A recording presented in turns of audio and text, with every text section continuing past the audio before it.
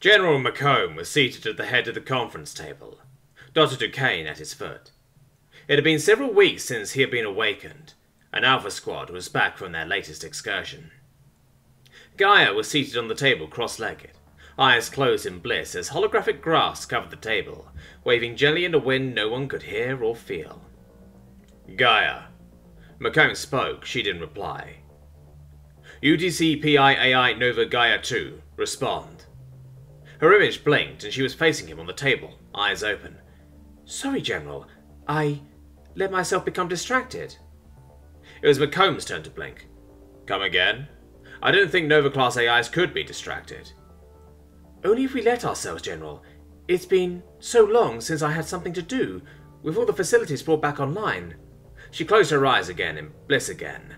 I'm helping again, not just watching over some barren rock waiting for my last power cell to die. She opened her eyes. I've written a subroutine that will auto-engage should I allow myself to be distracted again. It will alert me should any personnel need me. Good enough, Gaia. Thank you. Report on our guests. The senator has been formally recalled pending impeachment, is the closest my translation suites can come up with. The Kakan government is profoundly apologetic and has offered enough supplies for your team to remain awake indefinitely, even considering the difference in human and Kakan caloric needs. I drafted an affirmative and negative response pending your approval. Anything else? McComb asked, knowing what else was on the agenda. Yes, they're scheduled to reveal their initial archaeological finds, sans us of course, at the Galactic Council in a few weeks.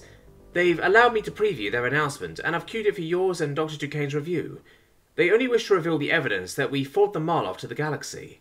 They are respecting our wishes to decline to name the planet they found the evidence on, and our existence, and we still have time to communicate any changes or ask them to stop the reveal. I've looked over their release. I've seen no military reason we should ask them not to reveal what they've stated. Dr. Duquesne? She shook her head. I have no concerns. Give them the green light then, and tell them we'll take the supplies, McComb said. Then we can wake up more of our people, Toombs said. Dr. Duquesne frowned. We should at least wait until we get set supplies. Besides hydroponics, we'll be harvesting soon here at Prime. The sub-facilities are still a month or two out, but once they start producing... Agreed, McComb said. I don't think... Toombs began. Gaia cut him off. You really do, Dr. Toombs. Excuse me? He demanded, standing up. Gaia's hollow form spun to face him. I said you really think.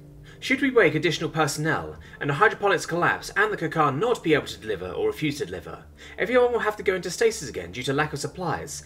Not only that, living quarters are still not part of this facility's design. Corporal Mix and Dr. Duquesne have laid out some promising plans, but the needed equipment has to be built at a nanoforge, which requires rare materials. Do you have a store of steel alloys or other metals? You know I don't, but you are already stripping the ruins above using automatons, correct? This still takes time, Gaia replied. And most of the facility's resources are being poured into the terraforming effort. System defense status, McComb said, interrupting and moving the meeting along in one fell swoop, causing Dr. Toombs to retake his seat. Mick spoke up. We've managed to visit all Gungnir Omega bases planetside. We've confirmed Gaia's telemetry. The three bases hit during the fighting might as well be craters, but thanks to the fucking neutron bomb stripping the atmosphere away, all components and munitions left are in good condition. At Omega 2-1, we managed to coax an autoloader to life and powered a repair bay long enough to fix it. Gaia's got it dragging other loaders to that bay, then stripping the bases down for spares and munitions planet side. The one planet series I couldn't physically access, she said, somewhat petulantly. Alpha through Foxtrot I could rearm and rebuild, but no! Couldn't land on the bloody planet with anything small enough for fine work needed to start repairs and rearm. Two, Dr. Duquesne said gently. We know, it's okay. Speaking of, Macomb said, where are we on planetary lift? Gaia spoke again. ZD Subfacility 3 finished its diagnosis this morning. I tasked it to begin assembly of a suitable vehicle. Only preliminary tasks have begun, plenty of time to change designs or models, General. I assume you want a Sleipnir class? He nodded with a smile. The Sleipnir class planetary assault shuttle was a UTC Marine Corps staple. If you looked at Earth's past for a contemporary, you wouldn't find it. For the Sleipnir had the cargo and troop capacity of a CH-47 Chinook, the speed of an F-22 Raptor, the armor of an M1 Abrams main battle tank, and the firepower of the bastard love child between an AH 64 Apache, and an A-10 Warthog. You assume correctly. Fast, heavily armed and armored, and plenty of space for the crew and any tools you may need. Dr. Toombs made a sound of disgust. Just what we need. McComb ignored him. Gaia, are there any civilian personnel who are rated to crew a Sleipnir, or can be easily trained to military standards? Yes, General. Good. Cue their dossiers to mine and Dr. Duquesne's implants for review after this meeting, he said, staring hard at Dr. Toombs.